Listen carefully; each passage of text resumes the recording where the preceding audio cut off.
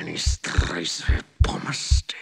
Princi můj malý. Vždy ve střehu.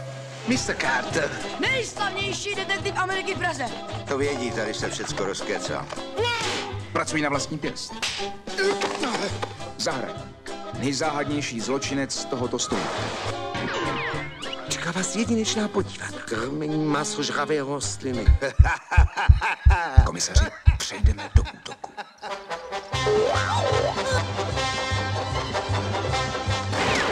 Ruce vzhůru! Stůj nebo zase střelím!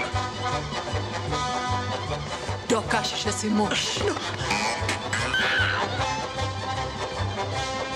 Dar přítele Lasera.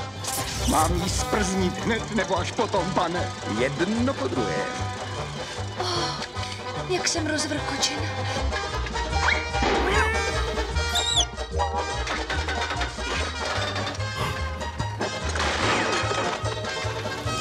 Co s ním, pane?